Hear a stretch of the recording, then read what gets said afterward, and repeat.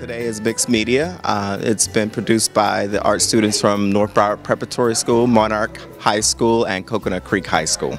Well, my assignment was to draw leaves and how they curl, and yeah, and shadows and stuff. I love it. I think uh, she's really brought in a lot of different colors, the details of the leaves, the veins, um, and I really like uh, the contrast of the colors against the black because it really sort of uh, makes the colors show. I like how I did the shadows here, and I went from light to dark, and the light purple and the dark purple.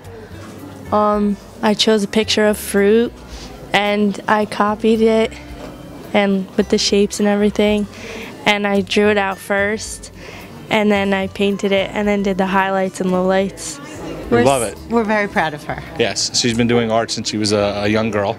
Uh, both of our girls have en- enjoyed doing the art, and the program at North Broward is wonderful and allows her to uh, to do many different things in many different mediums.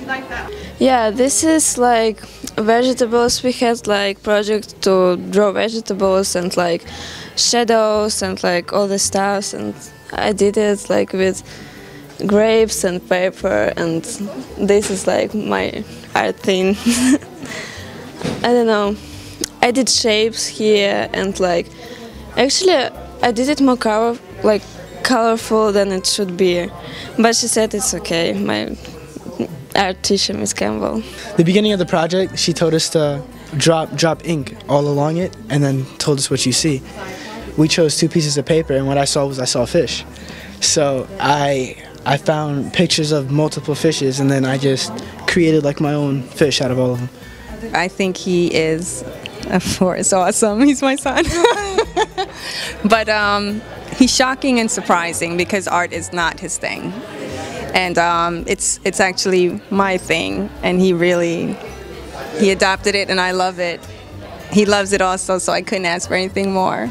So the piece is itself called Taking Flight. That was the name of the project, and the inspiration behind it is to write everything about yourself and like like everything about yourself literally. So what you actually see is me laying uh, like on the grass and looking up in the sky and seeing the clouds and how they turn into animals. And that's what I thought of when uh, thinking of the clouds, of uh, how they take animal shapes. So that's why I did the animals and like clouds forming into actually solid shapes.